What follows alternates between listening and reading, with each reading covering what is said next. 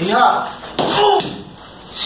Ay, papi, perdón, ¿te dolió? No, no, no, no, no. ¿Cómo, cómo se te ocurre? A los machos no les duele nada. ¿Ah?